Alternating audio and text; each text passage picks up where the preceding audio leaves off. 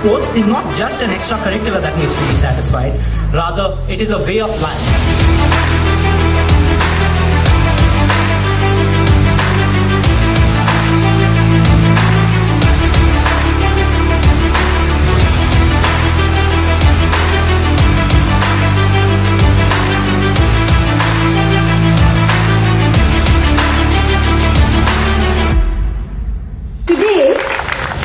Aren't just observers of sports. We are part of this magnificent tapestry woven with threads of unity that has fostered excellence.